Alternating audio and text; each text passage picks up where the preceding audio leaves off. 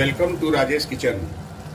आज राजेश किचन में हम आपको मशरूम काली मिर्च बना के दिखाते हैं। बहुत ही लाजवाब और बहुत ही टेस्टी सब्ज़ी ये बनता है। चलिए शुरू करते हैं। ये हमने मशरूम ले लिया है तीन पैकेट और इसको बड़े मशरूम को चार भाग और छोटे मशरूम को दो भाग में हमने इस तरीके से आप काट लीजिए।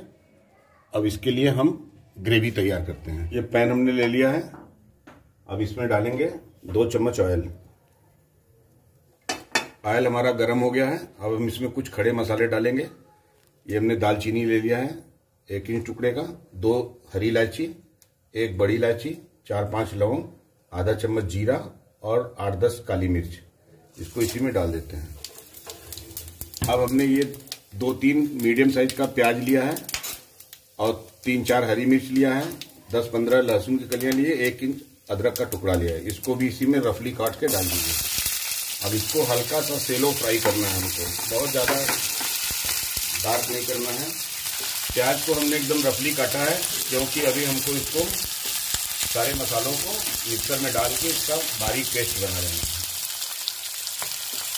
बस ट्रांसपेरेंट होने तक ही हमको इसको भुनना है, जिससे अदरक, लहसुन, मिर्च का कच्चापन चला जाए और ये अच्छे से पक भी जाए। प्याज हमारा लगभग लगभग पक गया है ट्रांसपेरेंट हो गया है, देख लीजिए आप। इसी समय हम इसमें डालेंगे आठ दस काजू।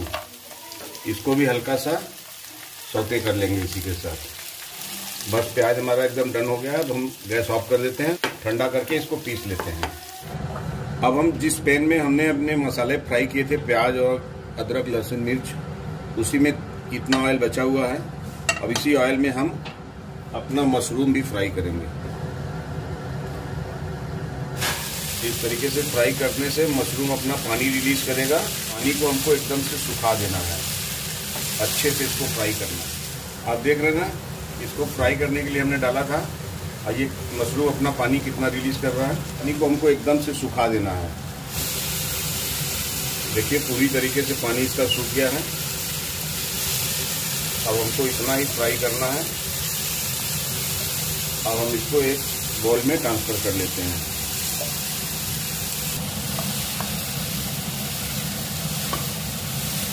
तो चलिए हम अपनी ग्रेवी तैयार कर लेते हैं। उसी फ्राई पैन में जिसमें हमने मशरूम फ्राई किया था, उसी में लगभग दो चम्मच देसी घी डाले हैं। घी हमारा अच्छे से गर्म हो गया है।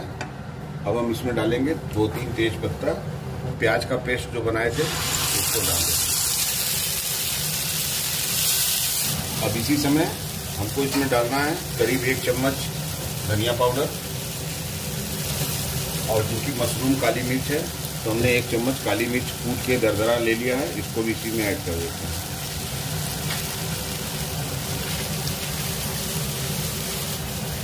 फ्लेम एकदम स्लो कर लेना है, और इसमें हम ऐड करेंगे दही।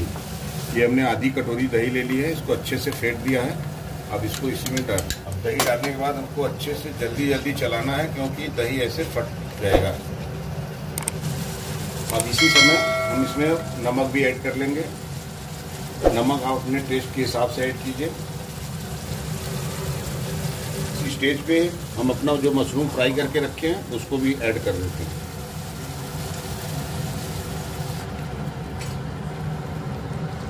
अब इसको हमको आँच स्लो करके, ढक के करीब पाँच मिनट तक पकाना है। ये खोल के चेक करते हैं। ये देखिए। मशरूम हमारा एकदम से पक गया है। क्योंकि फ्राई करते समय ये हाफ़ डन हो गया था। अब हम इसमें पानी ऐड करेंगे। पानी हम बॉयल करके लेंगे। आप कोई भी सब्ज़ी बनाइए। आप गर्म पानी करके डालिए उसमें, उसका टेस्ट बढ़ जाता है।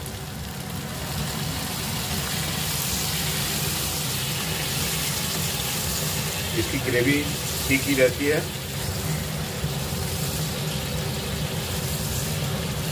बस हमको इसी तरीके की ग्रेवी पसंद है। अब इसी समय हम इसमें ऐड करेंगे लगभग आधा चम्मच कसूरी मेथी। इसको हम क्रश करके डालेंगे। इसको हम, हमने हल्का सा भून के ले लिया है। आधा चम्मच से थोड़ा कम गरम मसाला। इन सब चीज़ों को इसमें मिला लेते हैं। मशरूम की सब्ज़ी हमारी लगभग तैयार है। रिचनेस लाने के लिए इसमें डालेंगे थोड़ा सा मलाई। ये हमने दो चम्मच मलाई ले लिया था। इसको भी इसी में ऐड कर देते हैं। आप क्रीम भी डाल सकते हैं मलाई की जगह पे। इसमें मिला लेते हैं अच्छे से।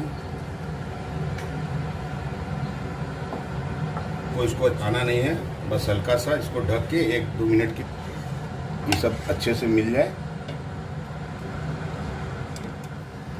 आइए खोल के चेक कर लेते हैं। ये देखिए, अब इसी समय हम धनिया भी इसमें ऐड करके इसको फिनिश करते हैं। तो हमारा बिल्कुल रेडी है। अब हम आपको सर्व करके दिखाते हैं। ये देखिए, कितना लहगर मशरूम काली मिर्च बन के तैयार है। अगर आपको ये रेसिपी हमारी अच्छी लगी हो तो लाइक और शेयर ज़रूर कीजिएगा और सब्सक्राइब करना तो बिल्कुल मत भूलिएगा। Thank you